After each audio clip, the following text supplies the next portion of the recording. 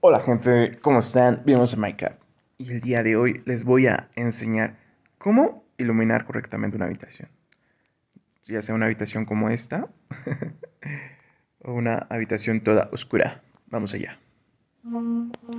Bueno, para eso he preparado esta habitación que está totalmente oscura, sin iluminación, para enseñarles cómo iluminarla correctamente y que se vea estético y podamos decorarla internamente sin tener que afectar cualquier otra cosa.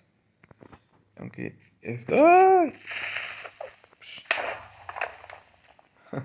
Problemas técnicos.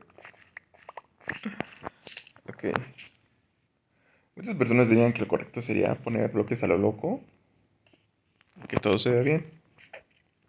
Entonces aquí hay oscuridad, aquí hay oscuridad, aquí hay oscuridad, aquí hay oscuridad y aquí.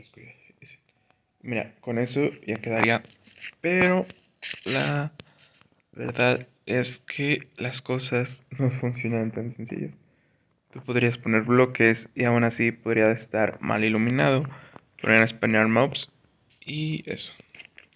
Para eso vamos a hacer uso de un recurso. Para ello, en la descripción les habré dejado lo que es un pack de recursos que les enseña, bueno, lo que serían los puntos de de spawn de monstruos. Esto es el Danger Zone. Es del Twitter GFP Coder y Gravel Paña. Danger Zone. Lo activamos y ahorita van a ver lo que se activa. Bueno, regresando ya a nuestra visitación. Ustedes pueden ver cómo se ve. Los puntos rojos son puntos de spawn. Los puntos amarillos son puntos de iluminación. Y los puntos verdes son puntos de iluminación no tan iluminado, pero que les llega el efecto de iluminación. Por lo cual en esta parte no hay posibilidad de que expane un mob. A cambio de esto, que aquí sí hay posibilidad de que expane un mob. Así que hay que iluminar correctamente. Bueno, gente, a lo que vamos. Este, para poder iluminar correctamente hay que tener en cuenta algunas cosas. La primera es que las el nivel de luminosidad de los bloques que usamos para iluminar, la mayoría son de 15, en lo que corresponde al faro, la piedra luminosa, la antena del mar, la lámpara de redstone y el farol. Y para la antorcha 14. Pero como la mayoría de los bloques para poder decorar los ponemos así a nivel de suelo, lo que hay que hacer es tomar en consideración un nivel de luminosidad 14.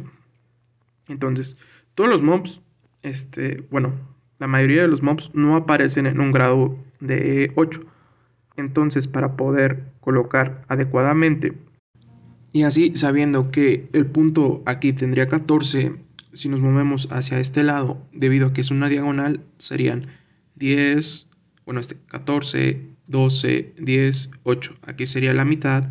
Y para poder generar otra vez 8 de este lado, sería 14, 12, 10 y 8. Y así colocando este, linternas o bloques de, de luz cada 1, 2, 3, 4, 5, 6. Cada 6 bloques en diagonal podemos iluminar de una manera correcta y evitar el spawn.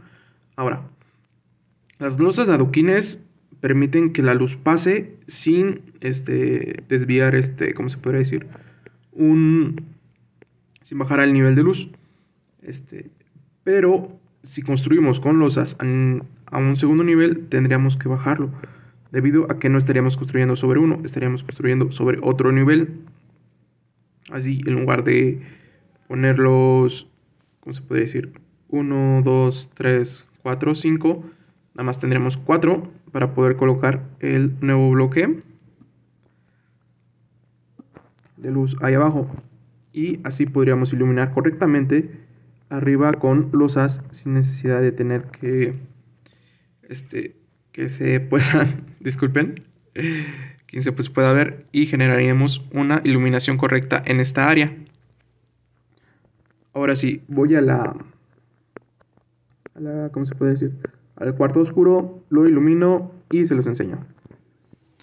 Bueno, ya una vez de vuelta aquí en nuestra habitación oscura, lo que tenemos que hacer para poder iluminar correctamente, poder generar una, un piso con, este, con losas, es poner una linterna en una esquina o cualquier otro bloque de iluminación y contar 5. 1, 2, 3, 4 y en el 5 ponemos así hacia cada dirección de cada lado de las linternas podemos tener una iluminación correcta hacia las losas. Algo así.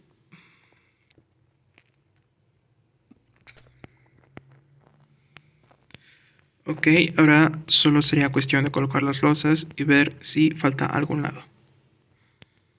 Ya una vez que hemos este, llenado todo de losas, ya tenemos un área perfecta para decorar, para decorar este, y no tenemos que tener problemas con la iluminación, según yo. Así que probemos el texture pack y veamos. Bueno, como pueden ver, este ya está todo iluminado. Aparentemente en el piso, que es en donde nos interesa saber si no hay una zona roja donde podrían exponer mouse, está perfectamente iluminado de tal forma que en esta sala no van a exponer mouse, no nos van a destruir. Uy, este se quedó de más. No va a haber creepers que nos destruyan nuestras construcciones y así perfectamente puedes poner unas cuantas lámparas sin tener que llenar todo de iluminación. Puedes tener una iluminación idónea, adecuada, sin tener que sobresaturar tu iluminación de decoración. Y esa es una buena forma de construir. Bueno, y así es como se ilumina una habitación correctamente para poder decorarla, poder usarla y que no quede ninguna luz sobresaltada, luz fuera, todo correctamente. Espero les haya gustado. Si les gustó, dejen like y gracias. Nos vemos en la próxima.